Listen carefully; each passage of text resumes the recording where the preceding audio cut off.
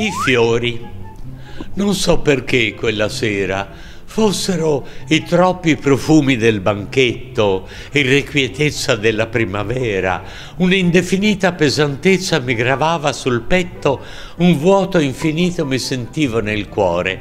Ero stanco, avvilito di malumore.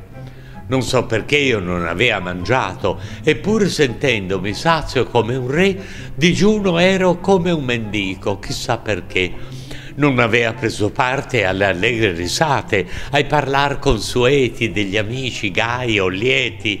Tutto mi era sembrato sconcio, tutto mi era parso osceno, non per un senso di moralità che in me non c'è, e nessuno si era curato di me, chissà, o la sconcezza era in me o c'era l'ultimo avanzo della purità.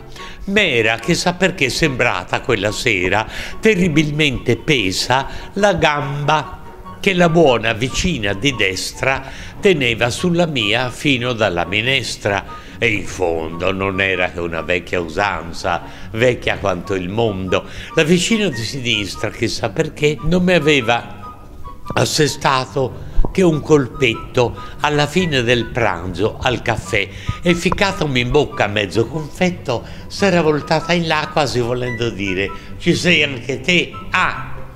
Quando tutti si furono alzati e si furono sparpagliati per gli angoli, nei vani delle finestre, sui divani di qualche romito salottino, io non visto scivolai nel giardino per prendere un po' d'aria. E subito mi parve di essere liberato, la freschezza dell'aria irruppe nel mio petto risolutamente e il mio petto si sentì sollevato dalla vaga e ignota pena dopo i molti profumi della cena.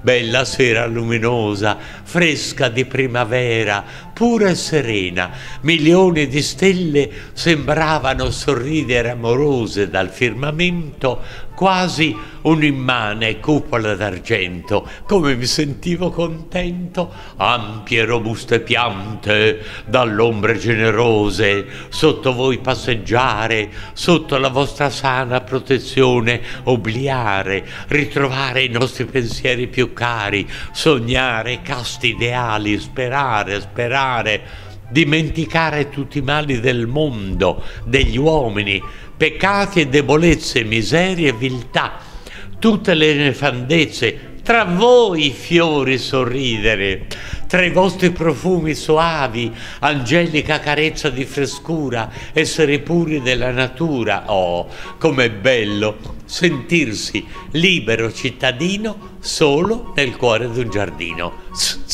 Che c'è? Chi è?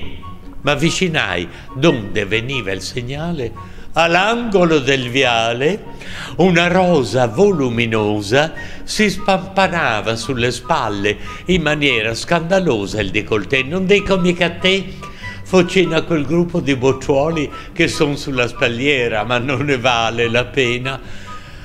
Eh, magri affari stasera, questi bravi figliuoli non sono in vena. Ma tu chi sei che fai? Bella, sono una rosa, non mai ancora veduta? Sono una rosa e faccio la prostituta. Te, io sì, che male c'è? Una rosa. Una rosa perché all'angolo del viale aspetto per guadagnarmi il pane. Fa qualcosa di male. Oh, che diavolo ti piglia? Credi che si migliori? I fiori in seno alla famiglia? Voltati dietro a te. Lo vedi quel cespuglio di quattro personcine, due grandi, due bambine, due rose e due boccioli. Sono il padre e la madre con i figliuoli, se la intendono bene, tra fratello e sorella, il padre se la fa con la figliuola, la madre col figliuolo, che cara famigliola. E ancora miglior partito farsi pagare l'amore a ore che farsi maltrattare da un porco di marito. Quell'oca dell'ortensia senza nessun costrutto si fa finire tutto da quel coglione del girasole.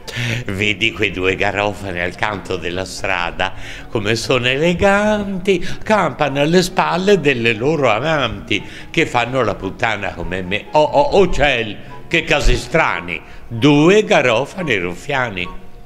E lo vedi quel giglio lì al ceppo di quel tiglio, che arietta ingenua e casta. Ah ah, lo vedi? È un pederasta. No, no, non più basta, mio caro. Ci posso fare qualcosa io. Se il giglio è pederasta, se puttana è la rosa. Anche voi. Che meraviglia! Lesbica è la vainiglia e il narciso con lo specchio di candore si masturba quando è in petto alle signore. Anche voi, candidi, azzurri, rosei, vellutati, profumati fiori. E la viola ciocca fa certi lavoretti con la bocca nell'ora sì fugace che vi è data e la modestissima violetta, beghina d'ogni fiore, fa lunghe processioni di devozione al Signore. Poi, all'ombra dell'erbetta, vedete cosa mostra al ciclamino. Povero Lilli, è la più gran vergogna corrompere un bambino. Misero pasto delle passioni. Levai la testa al cielo per trovare un respiro. Mi sembrò dalle stelle pungermi malefici bisbigli e il firmamento mi cadesse addosso come coltre di spilli. Prono mi gettai sulla terra, bussando con tutto il corpo affranto. Basta, basta, ho paura. Dio, abbi pietà dell'ultimo tuo figlio, aprimi un nascondiglio fuori della natura.